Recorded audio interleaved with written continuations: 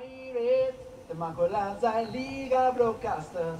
Just because we play what the people want. Bye, bye, bye. Ok.